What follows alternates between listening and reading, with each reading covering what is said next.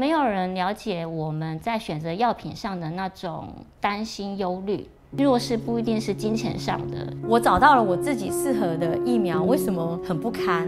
今天不管是被质疑的是四万人、八万人，看到的是家庭。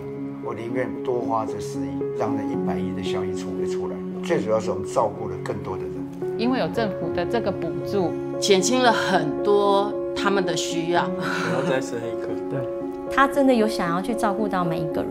你没有在政府单位，你做不了这件事情。我觉得可以照顾更多的人。再多了一个小孩，我觉得很美满。就不管去哪里去看到什么，都会看到一个爱心的形状。他做的没有错，他没有忘记掉我们这群少数人。其实我在想，我将来我自己也会老，将来我老了，或者是我也失智了，也我也希望有这样一个居服员能够来这样子陪伴我。我还是希望把事情做好，而把事情做好这样单纯的一个想法，我认为对台北就会产生一些质变。进而我们对社会就产生很大的贡献吧，希望能够这样子。